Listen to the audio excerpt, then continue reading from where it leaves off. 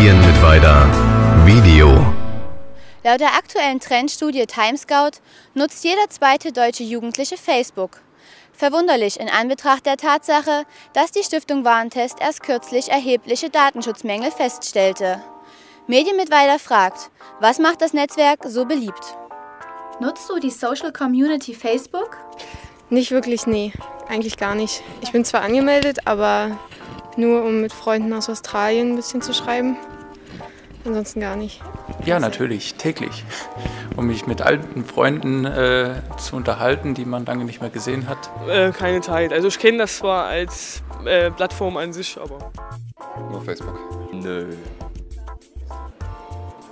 Weil es aus Amerika kommt.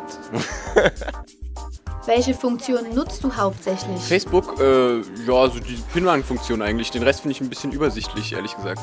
Wenn ich irgendwo bin, lade ich einfach schnell Fotos da hoch und dann ist es einfach schneller, als wenn ich die per E-Mail verschicke zum Beispiel. Das Nachrichten, äh, die Nachrichtenfunktion, also um mit denen eben Nachrichten zu schreiben, also weniger jetzt irgendwelche App Apps oder ähm, andere Funktionen. Bist du bei alternativen Netzwerken angemeldet? Ähm, ja, StudiVZ und äh, MySpace. Lokalisten. Also ich bin eigentlich mehr auf StudiVZ so. Fazit, das von der Trendstudie Timescout ermittelte Ergebnis konnte an der Hochschule mit Weida nicht belegt werden. Medien mit weiter. Video.